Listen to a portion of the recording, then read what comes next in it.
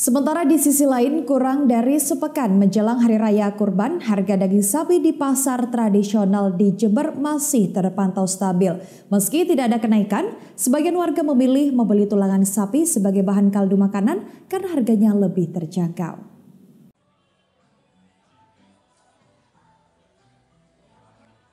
Harga daging sapi terpantau stabil, salah satunya terjadi di pasar tradisional Tanjung Jember.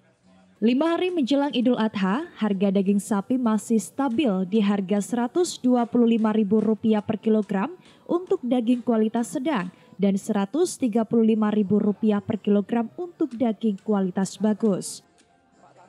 Sementara itu harga tulang sapi juga bertahan di kisaran harga Rp80.000 per kilogram.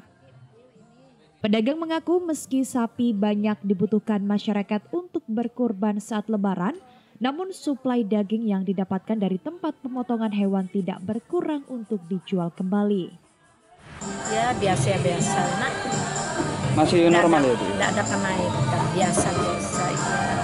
Kisaran harga berapa sekarang? Hah? Kisaran harga berapa sekarang? Ya sekarang kalau yang bagus 135 nak, yang bagus ulur dalam itu nak. Kalau yang biasa-biasa ya 135. 130. Kalau ulur dalam itu yang mahal nak. Kalau untuk tulangan gimana Bu? Kalau, kalau tulang rusuk yang bagus yang tebel itu 70. Ah, 80. Itu harga Bengkel. normal tuh semua bagian ya? Gak ada yang naik, gak ada yang turun ya? Tidak ada. Kalau untuk pasokan gimana Bu? Ya, Kalau untuk pasokan daging sekarang gimana? Bilang itu aja. aduh enggak pancet si anak ini. Masih tidak ada si anak kenaikan. Biasa-biasa. Masih lancar ya Bu? Iya, lancar. Berarti nggak kesulitan dapat daging? Oh, enggak. Untuk pembelian Bu, apa sudah ada kenaikan pembelian? Ya biasa nak. Biasa ya sing langganan biasa beli anu ya gitu.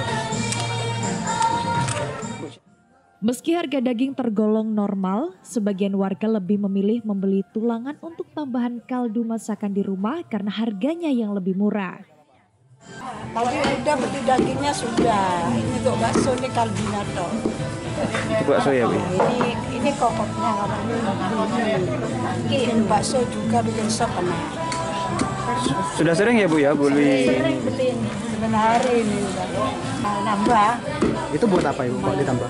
Ini bikin bak- kaldu soto bisa. Aku bikin kaldu soto.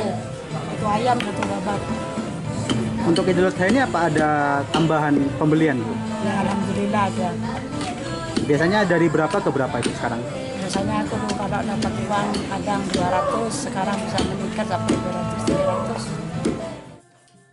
Biasanya saat Idul Adha, pedagang hanya mengambil atau membeli dengan jumlah yang lebih sedikit sesuai dengan kebutuhan pembeli karena mayoritas warga sudah mendapat jatah daging kurban. Dari Jember, Vicky Mardika mengabarkan untuk KJTV.